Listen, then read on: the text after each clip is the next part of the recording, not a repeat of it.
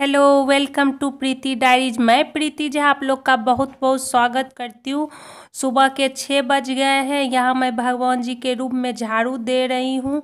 अभी सब सो रहे हैं। तो यहाँ जो रात के बर्तन थे, वो मैं बर्तन स्टैंड में रख रही हूँ। अभी मैं किचन में झाड़ू लगा दूँगी। उसके बाद पूरे घर में झाड़ू लगाने के बाद मैं बाहर झाड़ू लगा दूँगी। मेरे ससुराल में मेड आती है हमेशा से, पर जब मैं या मम्मी जी उठते हैं तो पूरे घर में झाड़ू लगा लेते हैं। इंतज़ार नहीं करते हैं कि मेड आएगी, तब लगाएगी, क्योंकि टाइम मैनेजमेंट बहुत ज़रूरी है हमारे लाइफ में। वक्त बहुत कीमती है। खर्च किया हुआ पैसा आप कमा भी सकते हैं, लेकिन खर्च किया हुआ जो समय है, वो क्या कभी आप ला सकते हैं? नहीं ना। तो इसीलिए वक्त के साथ हमें हमेशा काम करना चाहिए। आप कुछ भी करना चाहते हैं ना तो वक्त के साथ मैनेज करना बहुत ज़रूरी है। वक्त के साथ चलना बहुत ज़रूरी है। घर में सब अभी सोए हुए हैं, सिर्फ़ मैं और मम्मी जी जगे हुए हैं। यहाँ मैंने बाहर भी झाड़ू लगा लिया है और मैं जा रही हूँ। गर्म पानी जो मैं सुबह मॉर्निंग में लेती हूँ, वो पीने के लिए गर्म पानी मैंने गैस पे चढ़ा लिया। मम्मी जी अभी फूल तोड़ने के लिए गई हुई वो जब सुबह उठती हैं तो फ्रेश होकर सबसे पहले चली जाती हैं। पूरा ढेर सारा फूल तोड़ कर लाती हैं। तो पूजा करने में भी बहुत अच्छा लगता है। ज़्यादा फूल हो तो अच्छा लगता है। आज मैं वापस पटना चली जाऊँगी। तो इसीलिए मैंने सोचा क्यों ना आज मैं पूरे रूम की सफ़ाई कर दूँ। तो मैं और जीत जो मेरे हस्बैंड है, वो दोनों मिलकर पूरे घर की सफ़ाई कर रहे हैं, वो उठ चुके हैं और चाय पानी पीने के बाद हम लोग लग गए हैं सफ़ाई के काम में। तो जो ऊपर का काम सारा था, उन्होंने कर दिया है।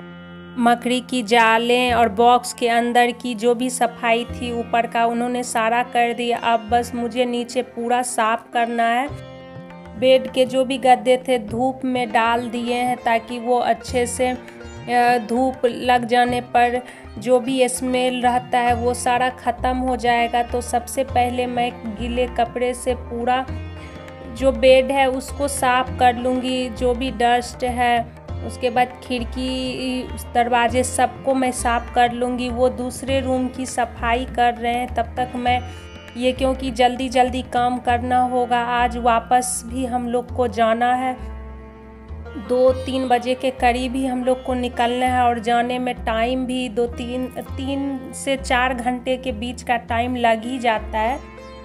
तो यहाँ मेरी सफ़ाई मेरे रूम की कंप्लीट हो गई है। अब मम्मी जी के रूम की सफ़ाई सफ़ाई कर रहे हैं।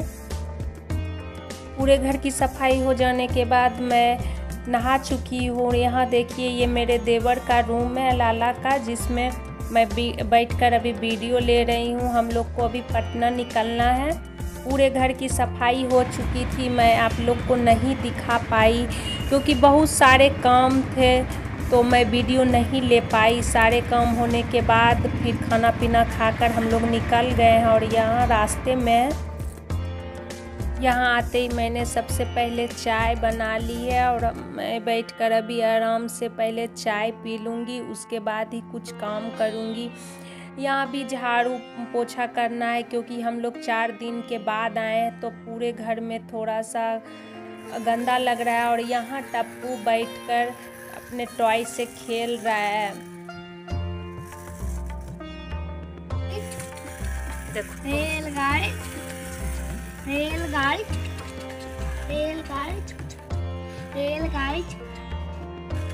किचन में कुछ बनाते हैं तो चलिए मैं बना रही हूँ पोहे।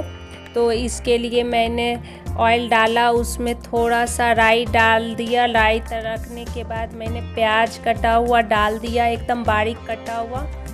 क्योंकि ये जल्दी बन जाएगा और हेल्दी भी है तो हम लोग थोड़ा सा खा लेंगे। उसके बाद थोड़ा बाहर भी जाना है। तो यहाँ मैंने दो चार करी पत्ते डाल दिए हैं। करी पत्ते डालने के बाद थोड़े से टमाटर कटे हुए एक मैंने डाल दिया है। चूड़े को मैंने गर्म पानी में डालकर उसे अच्छे से करके रख दिया है छन्नी में ताकि उसका पानी जो है वो नीचे गड़ जाए। उसके बाद मैंने इसमें डाल दिया और उसके बाद हल्का सा हल्दी डाल दूँगी। और नमक टेस्ट के अकॉर्डिंग डाल दूँगी। बस बनकर रेडी हो जाएगा।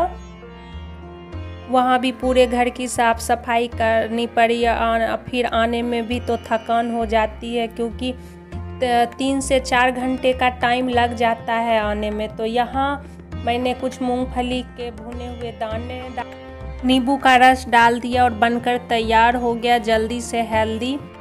सा कुछ चटपटा नाश्ता तो हम लोग ये जल्दी से खा लेंगे। उसके बाद हम लोग को बाहर जाना है, कुछ सामान के लिए बाहर जाना है। तो मैं आपको दिखा रही हूँ पटना का ये हनुमान मंदिर है। देखिए कितनी सुंदर लग रही है।